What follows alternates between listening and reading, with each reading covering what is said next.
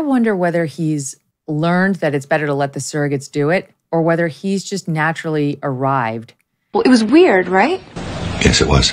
At a place where he's feeling a little bit more magnanimous about this country, about the people in it who disagree with him. I was struck by the number of clips all over social media this weekend.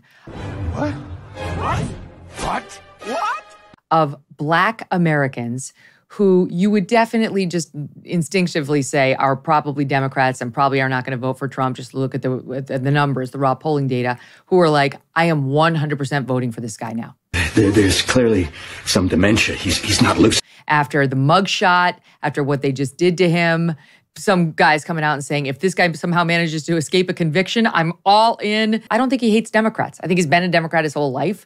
Hey, old man River, zip it or I'll break your hip. And uh, while he hates the Democrat leadership, and I think he will try to get them, I just see sort of a wisdom coming over him where he's like, it's the country. I love the country more than they do. I, maybe I'm crazy, but that's that's what I'm feeling.